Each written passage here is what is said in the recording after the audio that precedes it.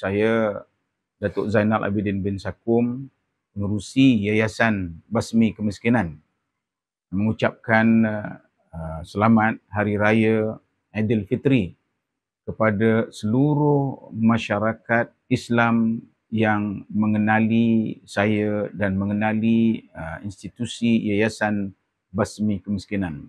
Sudah tentu sepanjang uh, melaksanakan tugas uh, amal Yayasan Basmi Kemiskinan 33 tahun sudah berada di uh, pesada negara.